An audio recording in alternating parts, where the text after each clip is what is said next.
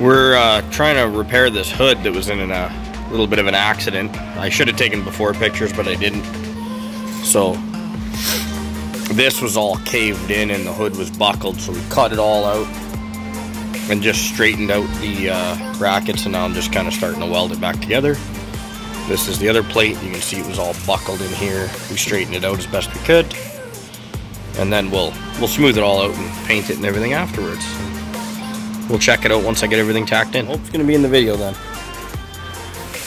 All right, I got it. Uh, I got all the pieces welded back into place. You can see I got my my stitches all along the bottom, all along the side.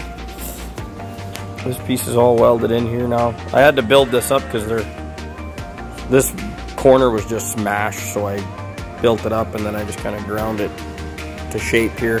I got to do a little bit with a carbide in here to make sure it looks perfect, but for the most part it looks pretty good. It's kind of hard to see on the camera, but it's all pretty straight now.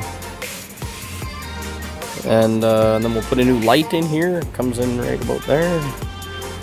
She'll be good as good as new. We'll obviously paint it. So, anyways, this is what it looks like after welding it all back together. I started grinding, so you can see this was this was all cut apart. There's a seam here, and I ground it all down and cleaned it up. So now you can't even tell that it was welded. So I got to do these welds and all that and then I'll come back and show you the end product.